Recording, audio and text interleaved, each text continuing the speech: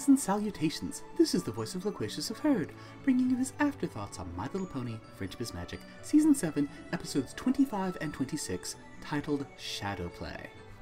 I heartily suggest you find and watch the episode itself, sans commentary, before proceeding with either this Afterthoughts review or viewing my full reaction, which is hosted at the link in the description. Please support the official release. Be warned, this Afterthoughts review will contain spoilers for the episode itself.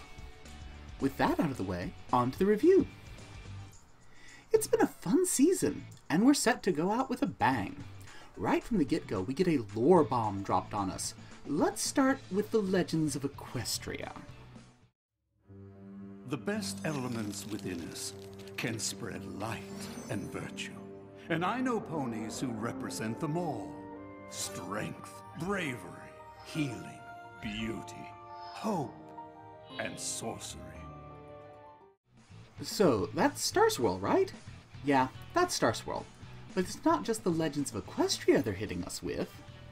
Myself and these pillars of Equestria were gathered together by another to maintain and share the light of these powerful ideals. But we soon came to believe the pony who brought us together only wanted that power for himself. Cast out and alone, this power-mad pony turned to darkness to satisfy his thirst. Transformed into a pony of shadows, he returned for revenge. Add the Pony of Shadows to the mix. Now there's a dark figure we've not heard of since season 4. Anything else? To stop him, the pillars and I must make a brave sacrifice. But we shall leave behind a seed, in hopes that one day it will grow into a force to stand against the darkness for all time. We must now face the fiend with the only plan we have. I only hope it will be enough. That's the last entry. And maybe Star Swirl's final words before he vanished. Minutes in, and this episode has certainly grabbed my attention. This is a good start. I'm always down for some equestrian history. Tying together the legends, Star Swirl, the Pony of Shadows, and referencing their collective disappearance of all of the above? Sweet! Indeed, this is an interesting enough setup that I'm willing to continue suspending disbelief about a marginal, but possibly important, point for the duration. But more on that at the end of this. So with Star Swirl's old journal in Hoof, Twilight and her friends undertake a research project to discover the fate of Star Swirl and the other pillars of Equestria. They begin this task with the blessing and encouragement of both Celestia and Luna. We have fond memories of our old teacher. If you could discover what happened to him, we would be most grateful. It's good to see the show itself seems to be referencing some non-show sources and incorporating them more directly into show canon. The business of Star Swirl being the teacher for young Celestia and Luna is part of the book My Little Pony, The Journal of the Two Sisters, The Official Chronicles of Princess Celestia and Luna by Amy Keating Rogers. I recommend the book as there are some fun stories contained therein. So it's off to do some research, reading, rereading, etc.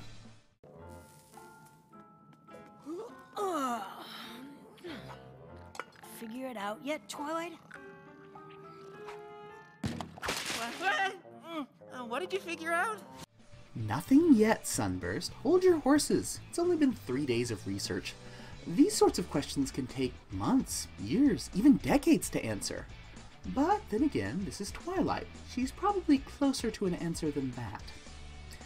Actually, the breakthrough moment comes when Starlight is able to decipher Star Swirl's otherwise incomprehensible horn writing. Apparently, not only is Star Swirl's journal in Old Ponish, but it's in sloppily written Old Ponish. And while Starlight doesn't read or understand Old Ponish herself, she can make out the scribbles and offer up a probably badly mispronounced recital of the scrawl of letters. And then Twilight and Sunburst can translate the spoken words Starlight is attempting to say.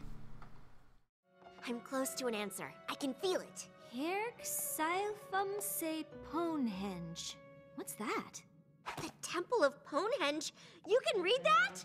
The horn writing's pretty sloppy, but it's nowhere near as bad as mine. Tawar dul Grimlik of Fola Firgenborg? At the base of Full Mountain. Usur Endemest Shield.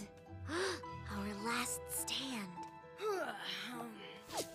Well, that sure sounds like a clue to me.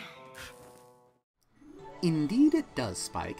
And so our fine herd of friends sets off to Ponehenge, which is a pun I heartily approve of. They find it easily enough, although it's overgrown. And as an aside, I loved the Easter egg the animators threw in here.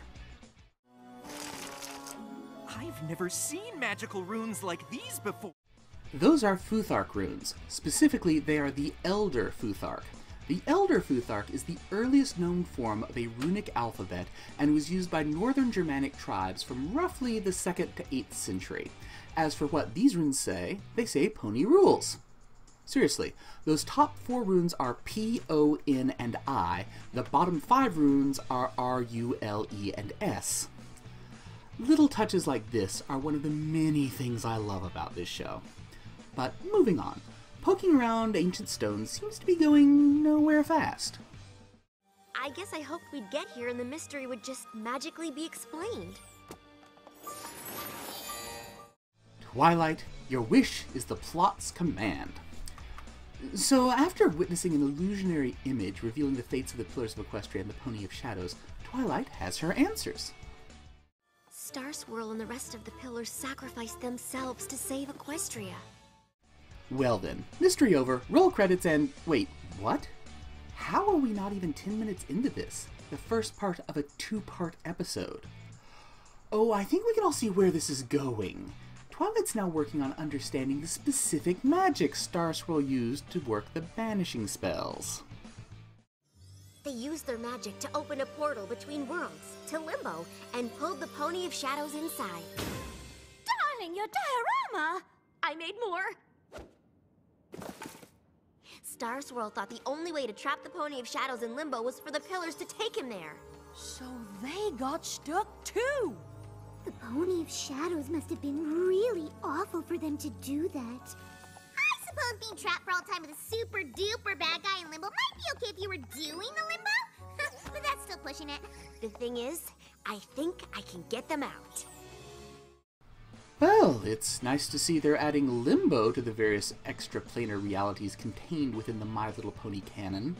Stick it right alongside Tartarus in terms of surprising bits of lore. But wait a second, back up. What was that last thing Twilight said? I think I can get them out. Twilight, are you serious? You can save the most legendary ponies of all time? I don't know. Opening portals between worlds didn't work out well for me. Are you sure it's safe? It is most definitely not safe. This is a terrible idea.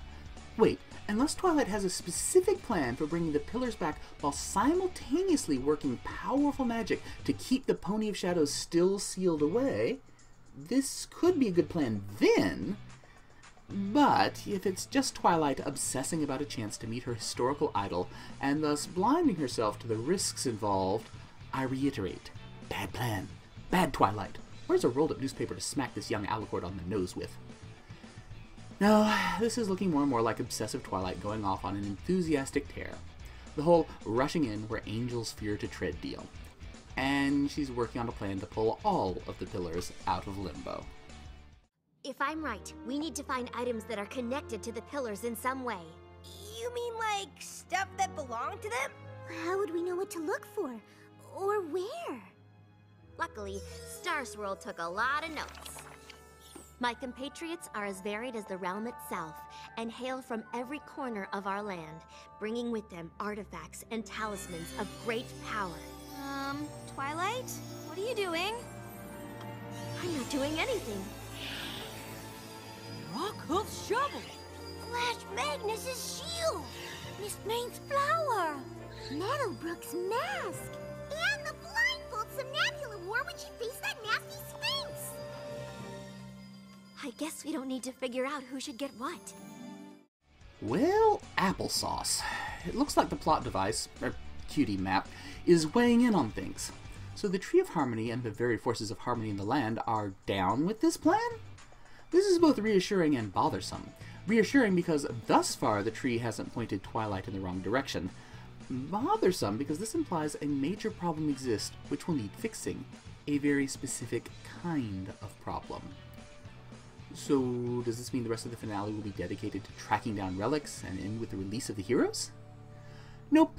After a short series of vignettes in which each of the main six acquire a relic, with which they are thematically linked through the whole embodying the elements of harmony thing they've had going since season 1, it's time to reconvene back at Ponehenge. That this is still only part one of a two-parter has already raised so many warning flags. And here's Starlight, being the voice of reason and caution. What's out there about saving the most legendary ponies of all time from a thousands year old prison? Well, nothing when you say it like that. Unless the most legendary ponies of all time knew what they were doing, and we shouldn't mess with it. I'm sure Star Swirl and the Pillars did the best they could back then, but magic has come a long way, mostly because of the work they did. That's true, and you did get your wings from finishing one of Star Swirl's spells. Exactly. But then I messed with one and nearly destroyed the universe, so. Ah, it's good to see some pony has their head in the game and isn't all swept up in the glamour and glory of bringing back legends out of time to the present day. But Starlight's worries get brushed aside. Risk? Sure, there might be some, but Twilight sees the potential reward of having all of the pillars back as being worth that risk. Twilight might be a tad biased, though, what with her whole obsession over Star Swirl the Bearded. So, it looks like they're going forward with the whole summoning thing. That's good news. Otherwise, we'd have brought this shield for nothing. I hope you don't think you're the only one to find her artifact, because this here shovel says otherwise. Honestly, you two. Not everything is a competition. But Mistmane's flower is by far the most attractive of the artifacts. You're just saying that because you didn't have to scuba dive in a pit of green slime to get yours. Or move a flash beehive. Good work, everyone. Let's do this.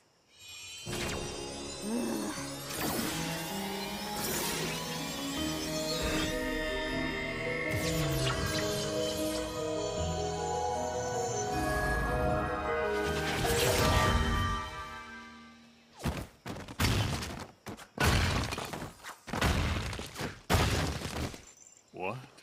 What has happened? Aripto Kaibos, Star Swirl. Let the die be cast. So, Twilight did good, right? Right? What? No, no, no, no! You must undo what you've done! What? Why? I mean, I don't think I can. You cannot bring us back! But I did. I brought all the pillars back. You cannot bring only the pillars back!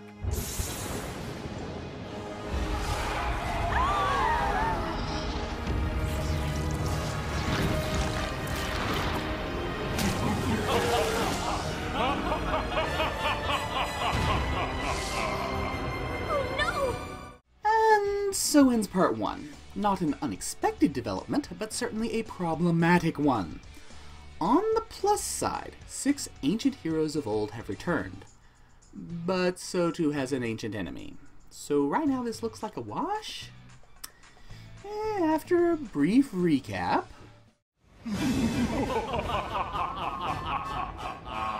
Your pitiful attempt to imprison me has failed, Star Swirl. You must return us to Limbo. It's the only way to stop him. I only figured out how to bring you back. Working on it! No table of contents! Allow me to assist.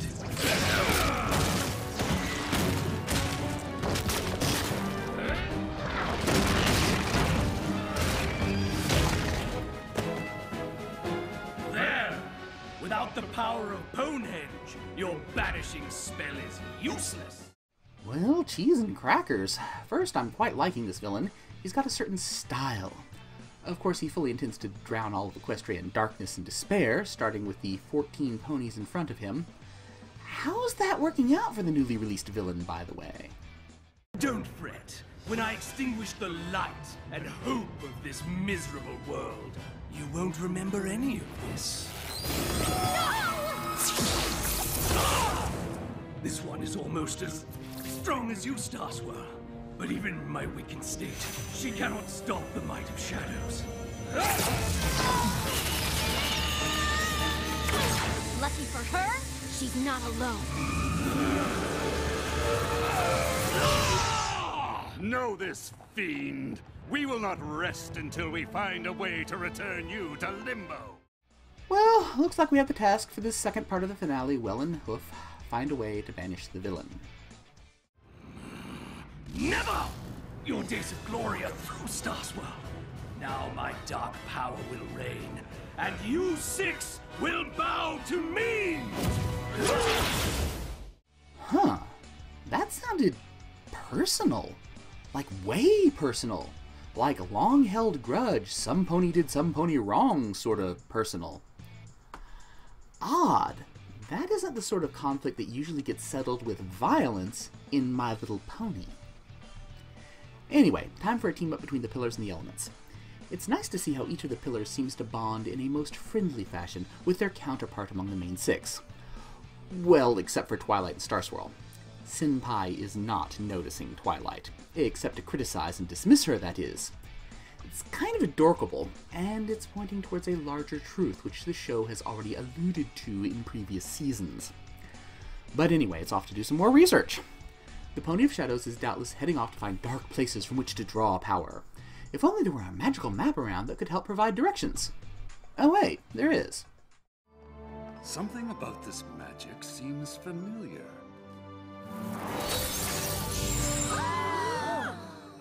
Did you know he can do that? He's Star Swirl. He can do anything. This map, and indeed this very castle, are grown from the seed we planted over a thousand years ago. Then it did work. Uh, what worked? Each of us infused a crystal seed with our magic in hopes that it would grow into a force for good. We wanted to leave something to protect the realm in our absence, but we never dreamed our gift would become so powerful. Oh, hello, World Lore. Nice to see this expressly addressed in more than just the opening recital, in case there was any doubt. Y'all mean the elements came from you? You know, the sparkly crystal things that grow from the tree of harmony and represent each of us? Laughter, honesty, generosity, loyalty, kindness, and magic. They are reflections of our own elements of hope, strength, beauty, bravery, healing, and sorcery. And aside, I really like the voices for the pillars. Good job all around. And speaking of some all around jobs, it's time for preparations for the inevitable confrontation. Our foe will seek dark places from which to draw power. I will prepare my spell so that we may strike as soon as you find him. What are we waiting for? I like your spirit. Oh, oh yeah! Twilight's not fully sold on following Star Swirl's spell as is. After all, from the sounds of it, they'd have to use the magic of the elements of harmony to power the same banishment spell Star Swirl originally used, a power drain that would effectively destroy the elements altogether and, in so doing, kill the Tree of Harmony. Pros of this plan? Pony of Shadow is returned from Limbo. Cons of this plan? All of the pillars will be lost forever, further, all of the elements will be lost too, and the Tree of Harmony will doubtless die. So Twilight's working on a new plan. Usually, research makes Twilight happy, but she seems quite down as she's working on this vexing problem. Uh, Twilight? Are you okay? I just unleashed ultimate evil and doomed Equestria because I was obsessed with meeting my idol. Why wouldn't I be okay? Well, that sums it up nicely. In her case, it's an understandable mistake. Gotta love that hubris. But again, the fact that the Tree of Harmony has taken an interest in events and is providing aid does imply that there is ultimately a way through, and a way that leads to a better future for all. You know, Starlight's been spot on with her comments and concerns and observations throughout this finale. So her comment that. Maybe there's another way. Give that pony a cookie. Her intuition continues to work well. And what do you know? Twilight's research pays off. She finds a spell which could be used to open a portal to Limbo and have other powerful magical ponies, like herself and Starlight, do the pushing part. Pros of this plan Pony of Shadows is returned to Limbo, Pillars of Equestria remain. Cons of this plan all the elements will still be lost, and as a result, the Tree of Harmony will doubtless die. Well, it's an improvement, but. Great. But I was thinking of another way that maybe doesn't involve banishing at all. That's so Starlight, but more on that in a minute. The explorations into the dark corners of Equestria go surprisingly brightly. Star Swirl's information is over a thousand years out of date, after all, and the dark places he knew of have all been enlightened in the intervening centuries. So, no leads on locating the villain. Time to regroup. Twilight shares her good news about her researches, which Star Swirl shuts down with a casual dismissal of her capabilities. But her friends rally around her, and after reluctantly taking a second, really a first, look at Twilight's proposal. Hmm. I suppose there is a chance. But we still have no idea where to find the villain.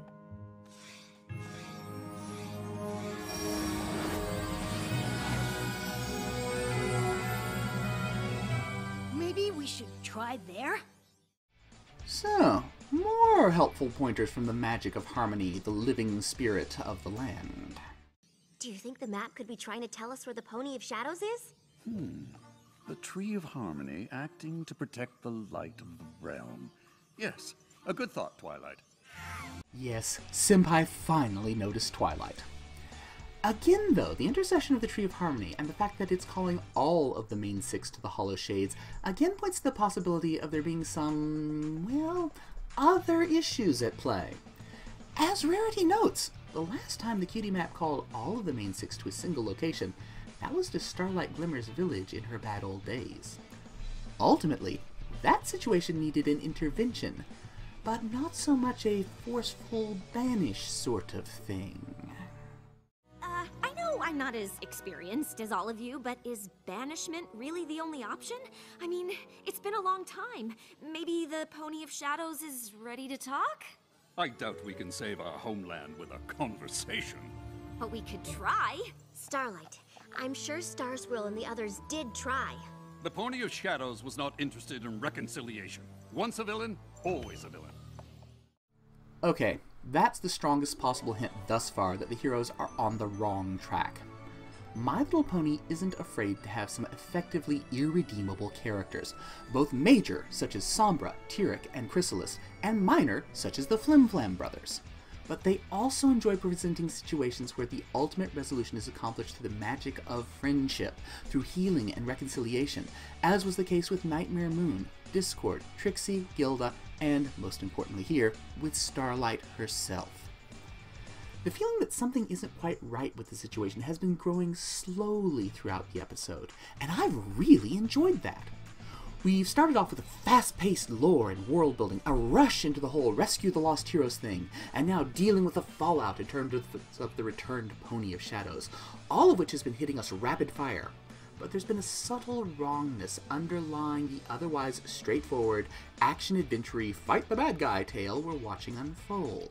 I know Star Swirl is a great wizard, but this whole plan seems wrong. The maps only ever sent us to solve friendship problems. And there it is. While the tree and Harmony have gotten involved in affairs that were not, strictly speaking, friendship problem related, such as the whole rainbow power business back when fighting Tirek, when the cutie map has gone into full on plot device mode, as it is here, it has always been a matter of a broken or breaking relationship, of friendship problems, situations where what is needed is usually more mending and less retribution. Maybe so, but the Pony of Shadows doesn't really seem like the friendship type. Honestly, we don't know anything about him. Let's just go ahead and award the MVP gold medal to Starlight right now and be done with it, okay? Girl's on a roll, and she's hit the nail on the head once again. What exactly do we know thus far about the Pony of Shadows? Very little, and mostly glossed over in the recitation from Star Swirl's journal at the start of the last episode. We know He was once a unicorn. He brought the pillars together, forming them to a force for good in the early days of Equestria. He was one of the main ponies to help advise and guide the pillars. He then stole their artifacts for reasons unknown, but because it was suspected, though never confirmed, that his reasons were wicked ones, he was cast out of their little circle. Later he returned, filled with dark power, and transformed into the Pony of Shadows. And now he has a deeply personal vendetta against Star Swirl and the Pillars, and he's willing to destroy Equestria to get at them. There's a lot of this unicorn story that's not really known, even his name at this time. Motive is one thing, actual plans are another. In short, there's a lot of assumptions that appear to be going on. True, the whole villainous evil shadow spirit shows that whatever he was up to, he's gotten firmly ensnared in the dark side by now, so the whole let's fight him deal is a natural initial reaction. But let's get right to one of the other undercurrents that seems to be pushing events here towards a bad end.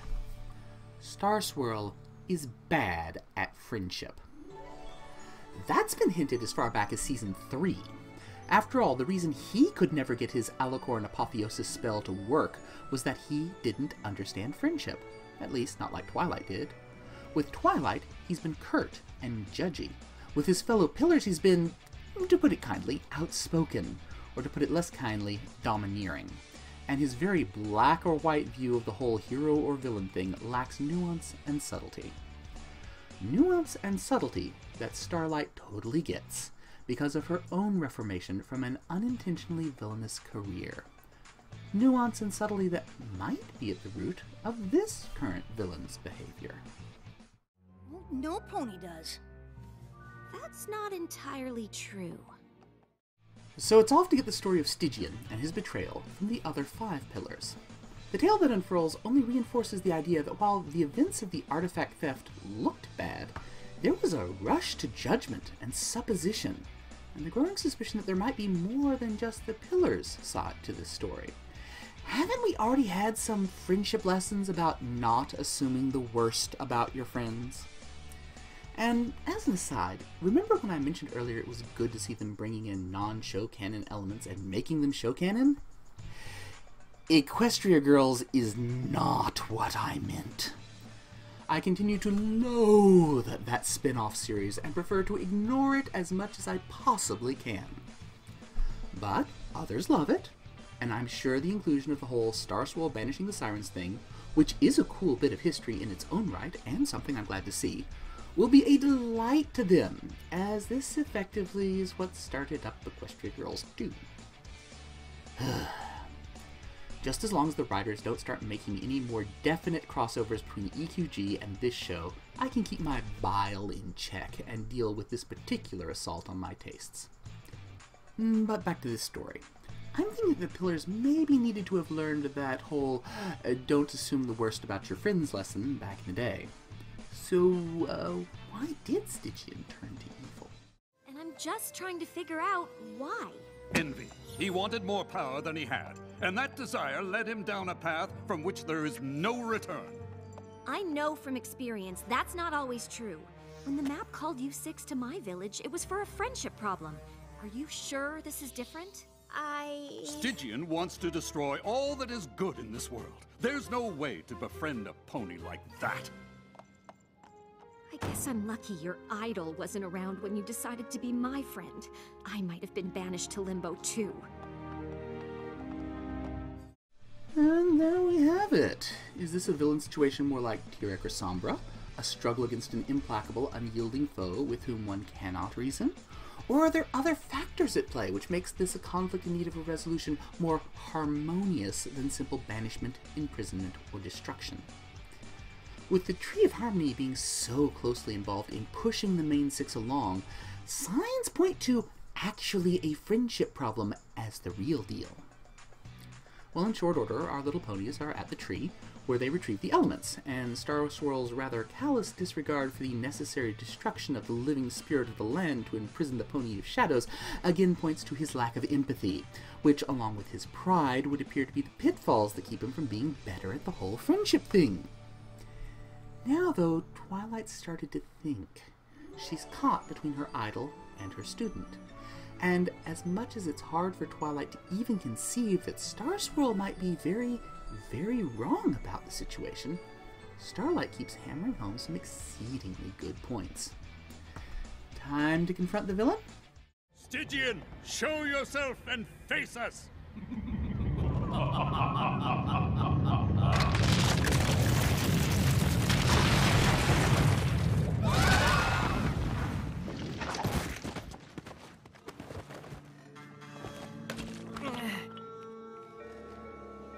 I definitely would have remembered reading about this.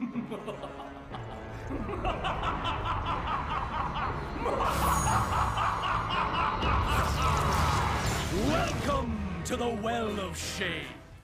Yep, time to confront the villain. And what does Stygian have to say for himself? When you turned your backs on me, I discovered this place. The darkness spoke to me of a power beyond any I could imagine, and I listened. The shadow and I became one. Soon, all of the realm will be the same. Then all ponies will feel the despair I did when you cast me out. We did what we had to do. You tried to steal our powers for yourself. No, it was you who were selfish. Now, you will pay! Oh yeah, definitely sounds like Star Swirl might have messed up some friendship stuff with Stygian back in the day, which set him on this dark path. Are you still sure this isn't a friendship problem? Clearly Twilight's not sure, but Star Swirl is going to rush ahead with the whole banishing plan anyway. It goes rather well. Hole to Limbo opened? Check. Pony of Shadows being drawn towards it? Check. Indeed, it seems to be taking all of its power to keep itself from being lost into the void. So, will Twilight push him in? Is violence to be the answer to the problem posed by the existence of the Pony of Shadows? No! You will not trap me again! Twilight, push him in! There's a pony in there. That was sudden, and just when I thought there wouldn't be any more amping up of the drama. But, lost there in the darkness of the Pony of Shadows is the unicorn, Stygian. But Star Swirl says you betrayed them. You wanted their magic. No, I wanted their respect. I brought them together. I planned strategy and I read all I could about the beasts we faced. I didn't have magic or strength. So no pony ever noticed me. I went to Ponehenge to make my own copies of the artifacts. With them, I thought I could be a pillar too, and stand by their side in battle. I never wanted to steal their power. But instead of sharing and letting me help, my friends threw me out. So I became stronger than any of them. The darkness welcomed me when no pony would, and I will do what I must to protect it. Yeah, Star Swirl, Pillars, you done goofed. This whole mess really is a friendship problem. A friendship problem which, in some respects, echoes the very first friendship problem we had with this show the fall of Luna, and her becoming Nightmare Moon. What's more, through Twilight's magic, the Pillars are now aware of their mistake. So, time to try a redemption gambit? The shadow isn't who you really are. Let me help you be Stygian again. Even if my friends did still care, what makes you think you have the power to help me? Because it's what she does. I wasn't so different from you, and Twilight helped me change. If there's one pony in Equestria that can save a friendship, it's her. I. I want to believe you.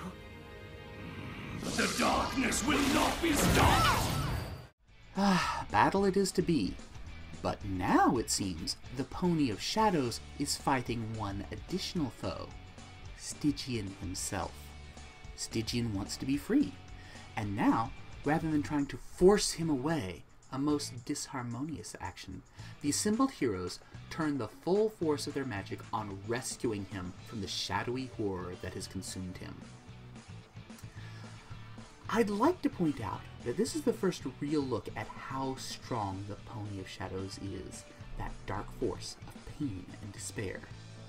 It takes all six of the pillars, supporting all six of the elements, plus two additional unicorns, one of whom is a powerhouse in her own right, to barely, just barely, succeed in ripping Stygian free from his magical, emotional, and spiritual imprisonment within the Pony of Shadows.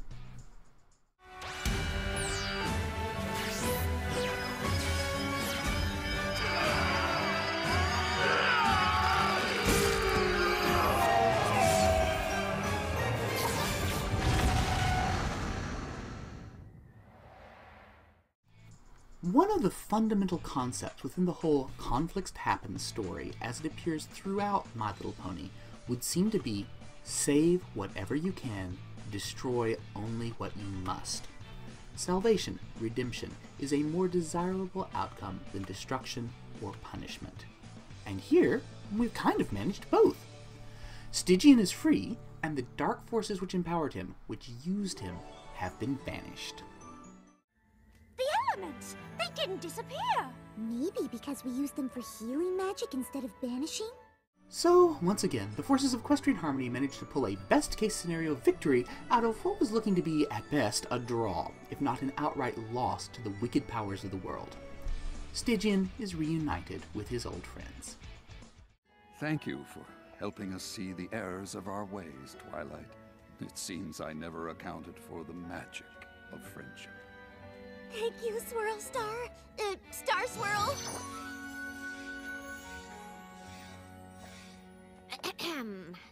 So, apparently a conversation can save Equestria?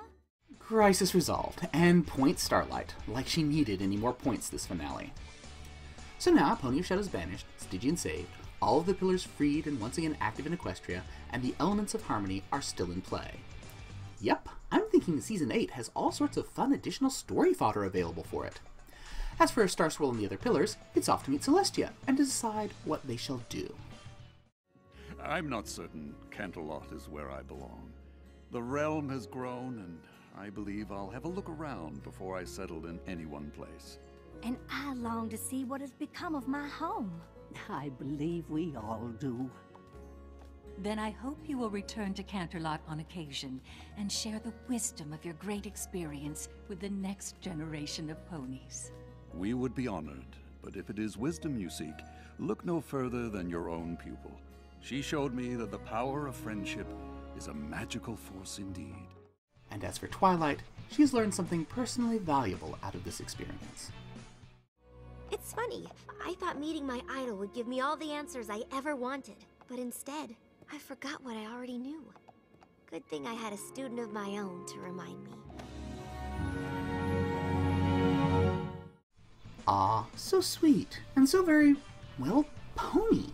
And as those Futhark runes earlier remind us, pony rules.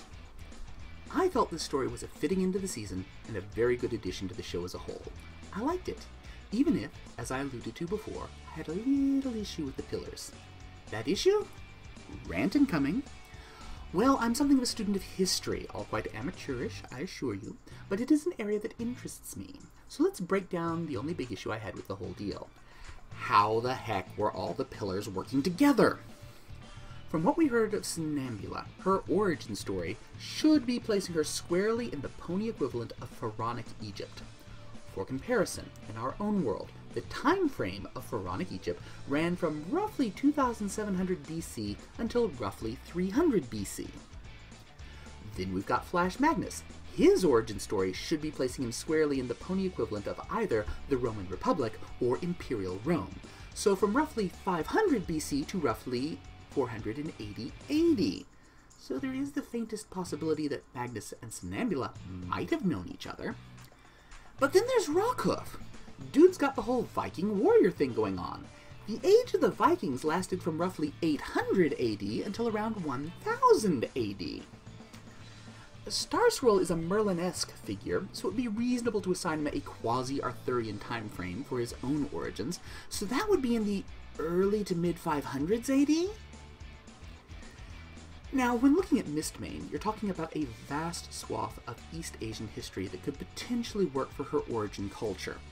However, fun fact, the design of her frenemy, Sable Spirit, is modeled directly off of the Empress Dowager uh, who reigned from 1861 AD until 1908 AD. And lastly, we have Meadowbrook, Her mask is quite reminiscent of the whole plague doctor getup invented by Charles de Lorme in 1620, but her culture is clearly Cajun Creole as found in the southern portions of North America near the Gulf of Mexico. So that's 1800s AD through 1900s AD. All this lore with the pillars, how they knew one another and worked together, it's awesome. It's awesome in the same way that a picture of Abraham Lincoln riding a dinosaur, wielding a laser gun, and leading a host of cavemen against Nazi robots would be awesome. But none of these things belong together.